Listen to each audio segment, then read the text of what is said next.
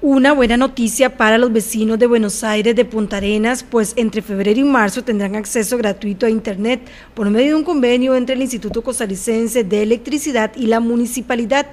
El servicio Wi-Fi estará dándose tanto en el parque como en la terminal de autobuses.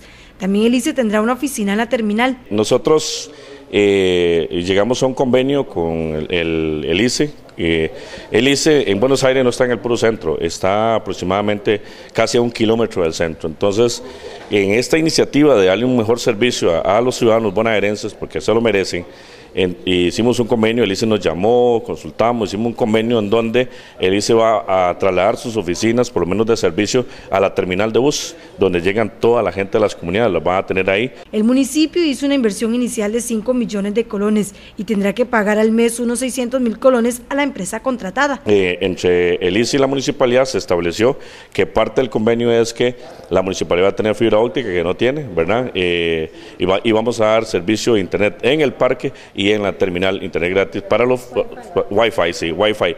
No significa que es gratis, nosotros tenemos que pagarlo como municipalidad, pero es gratis para la, para la población, para la gente de Buenos Aires y es, es parte de, los, de, de lo que dice el convenio. Para ello se contratará una empresa que dará el servicio y ya está en todas las coordinaciones para que no haya ningún problema. Eh, va a haber una empresa encargada de manejar ese, ese sistema especial eh, donde nos va a dar ese soporte que nosotros necesitamos también para tener cierta información que ocupamos. ¿Para cuándo estaría el proyecto? Nosotros el proyecto la, creemos que puede estar arrancando en el mes de febrero, si Dios no lo permite.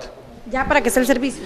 Para que ya esté el servicio, por lo menos esa es la intención, esperamos que, que arranque en el mes de febrero o marzo, porque como estamos terminando ya, ya se firmó el convenio, eh, ya el ICE también va a comenzar a, a pasarse para ahí, y nosotros esperamos que de aquí a marzo febrero o marzo esté ya disponible la información. En el ayuntamiento hacen todos los trámites para que pronto esté el servicio gratuito para todos.